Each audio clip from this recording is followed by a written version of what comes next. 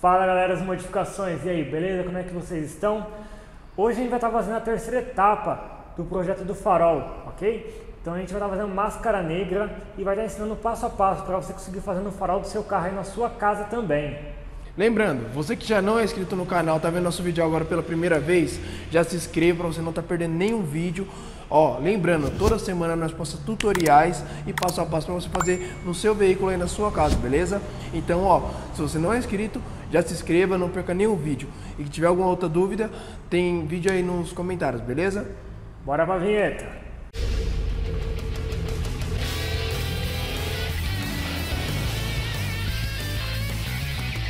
Itens que a gente vai estar utilizando no tutorial de hoje.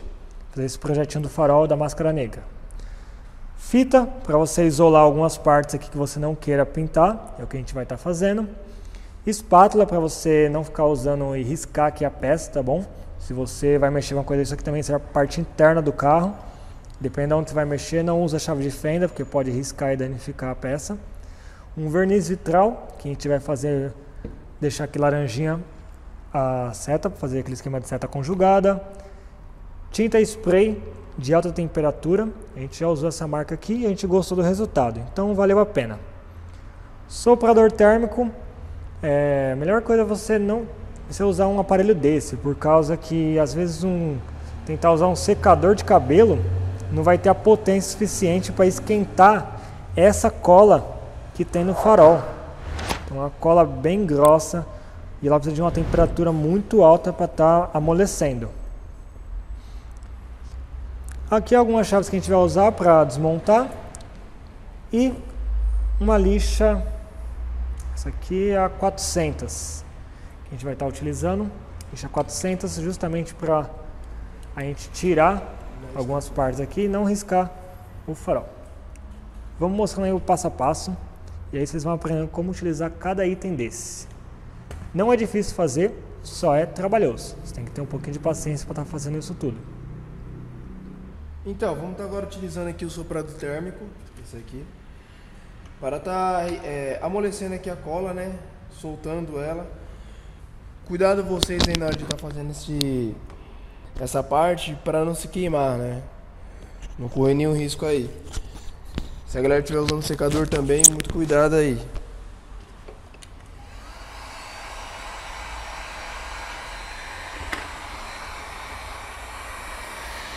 Quando vocês forem passar, não passe em, uma, em apenas uma parte para ele não acabar derretendo o plástico. Passe sempre de um pedaço e depois o outro para ele amolecendo por igual.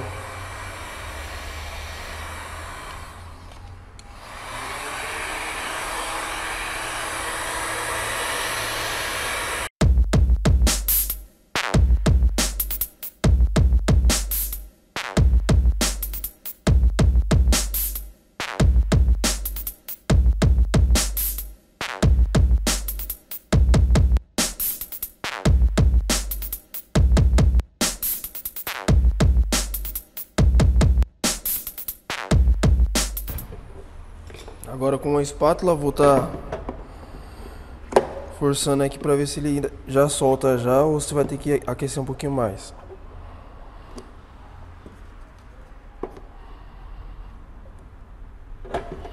Outro detalhe, os farol tem essas travas aqui, tá?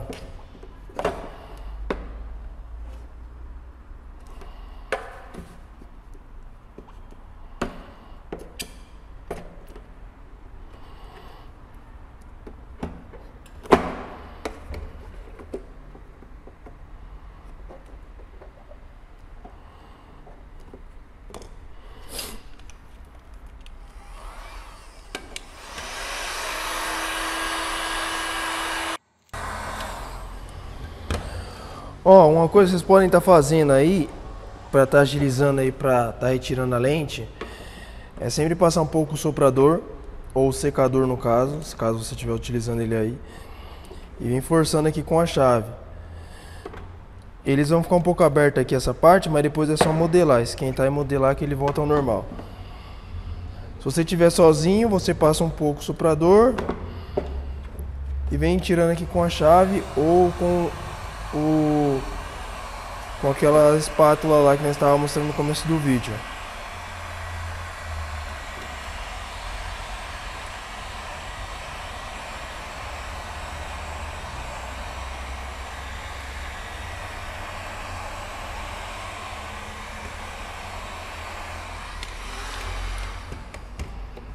Aquecer um pouco.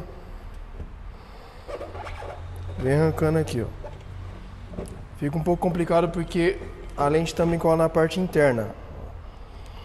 Então até nós chegar na parte interna ali vai demorar um pouquinho. Ó, aqui a cola dela aqui, ó, que vocês podem estar tá reparando aqui, ó. Vai ter que tirar essa cola da parte interna também. Terminamos de abrir aqui o farol. Vocês viram que é bem difícil, porque ele dá trabalho mesmo, tá bom? Então vai ficar muita cola sobrando aqui. Nessa cola você vai usar um estilete aí para removendo ela, uma chave de fenda, o que você achar melhor. E aqui a gente desmontou aqui a lente também, essa lente ainda vai fazer um polimento, a gente fez só em um farol. E agora vamos estar tá fazendo o isolamento dessa parte. Como a gente vai estar tá pintando essa área aqui de laranja, é, não recomendo que vocês removam. Dá para você fazer isso pintando ele direto. É até melhor, porque isso aqui depois você tira e encaixa errado e ele acabar passando uma trepidação aí, soltar, vai ficar dentro do seu farol, vai ter que abrir, fazer tudo isso de novo. Então, dá para você fazer a personalização dessa essa lente aqui da seta depois que ter feito a máscara negra sem nenhum problema. Agora a gente vai estar tá aqui isolando essa parte para fazer a, a, máscara negra. E aqui vem a parte do acrílico. Se a gente for colocar um projetor futuramente, a gente vai pintar essa área aqui, porque não vai precisar, já que o projetor já tem o foco dele. Aqui, como a gente não tem um projetor ainda, vamos manter essa, essa área cromada. Já as demais, a gente vai estar usando essa lixa, essa lixa 400 para estar removendo esse cromado e deixar somente no plástico, para que a tinta ela pegue bem.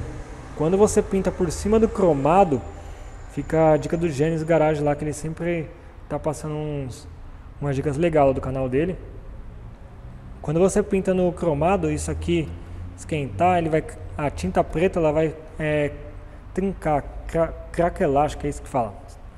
Então, sempre dá uma bela de uma lixada para deixar no plástico antes de passar o spray.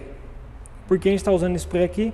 Porque, porque é uma área que a gente tá, não vai ter contato.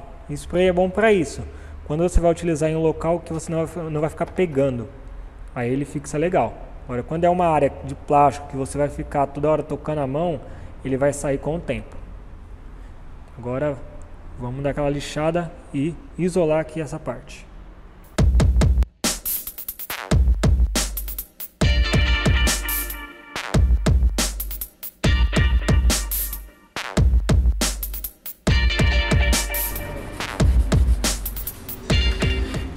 Então, rapaziada, ó, finalizamos aqui a parte do papelamento. Deixamos duas opções aí para vocês escolherem, beleza? Deixamos essa daqui, só vai ficar essas partes aqui em preto, o resto vai ficar em cromo. Lembrando, na seta, vamos estar utilizando verniz vitral, beleza? Vamos ser pintado pela parte interna, o verniz aqui. Aí vamos deixar essas duas opções. Agora, o que eu estou fazendo? Eu estou lixando aqui, ó. Não é necessário lixar até ficar tudo preto. Mas só para tirar um pouco do do cromo, ó, deixar um pouco áspero para estar tá fixando a tinta quando tiver em contato aqui com a peça, beleza? Beleza. Ó, lixando bacaninha. Lembre-se de lixar todas as partes. A cola, a cola não, a tinta, né? A tinta pegar legalzinho. Aqui. Lembrando, se você tá curtindo esse vídeo aí, deixa aquele seu like, tá?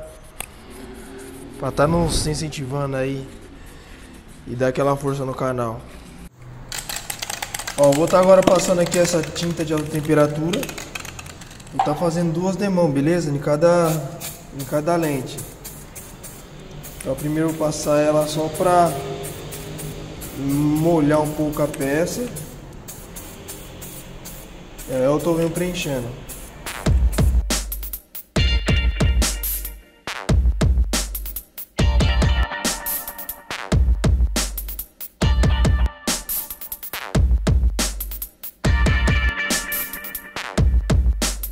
Ok? Agora vamos deixar secar um pouco depois voltamos aí com a segunda demão. Bora agora para a segunda demão.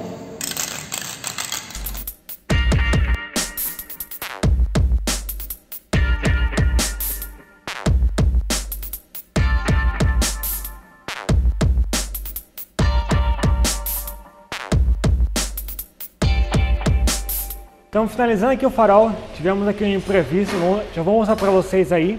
Está fazendo aqui outra ideia aqui também. Mas lembrando, você que não é inscrito no canal, já se inscreve aí que esse vídeo está ajudando muita gente aí.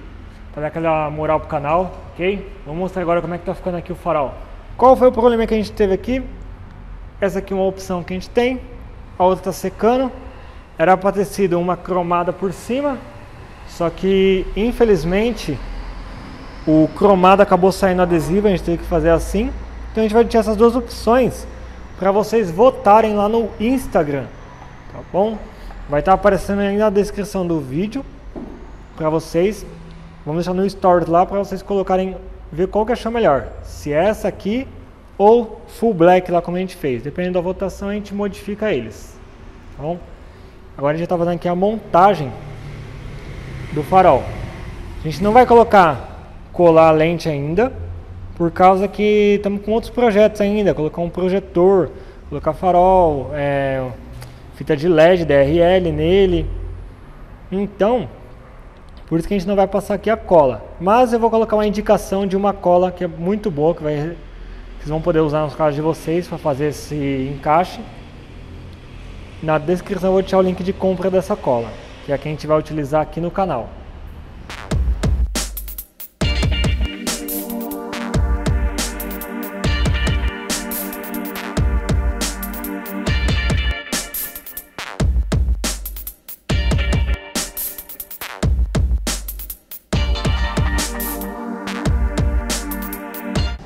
Encaixada aqui a lente, felizmente a gente deu uma pequena raladinha aqui, ó.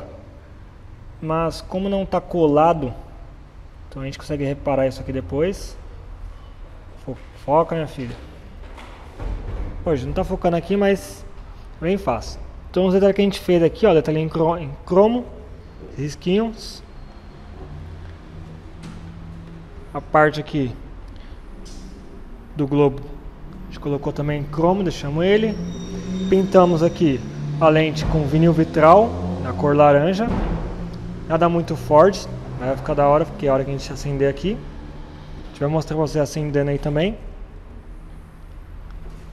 E, ó, comparado ao que era antes. Vamos colocar uma imagem aí depois de como que ele era antes e como ele está agora. Vou virar aqui. A lente a gente vai dar um trato nela de novo. E agora vamos pular já o vídeo para mostrar para vocês essa parte aqui com a lanterninha aqui acesa. Vou mostrar agora como é que vai ficar com ela ligada. Aí a diferença que deu, gente. Show de bola, hein? Merece ou não merece seu like aí?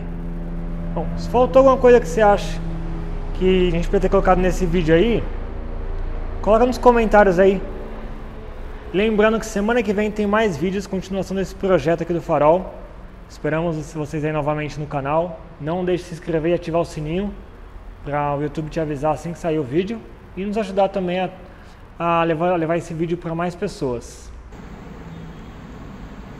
Para quem quiser, a gente está com um grupo no Telegram. Grupo Telegram aí para nós é muito importante que a gente vai colocando vocês lá e a gente vai interagindo. A gente tem sempre algumas promoções, de alguma um parceiro nosso que faz algum serviço aí. Agradecendo também a Cartec, que é uma parceira nossa que está ajudando aí essa oficina, um sede aqui o espaço para a gente estar tá fazendo os vídeos aí, produzindo. E é isso aí. Esperamos que tenha gostado, que tenha ajudado você. Não esquece de compartilhar e até a próxima, pessoal.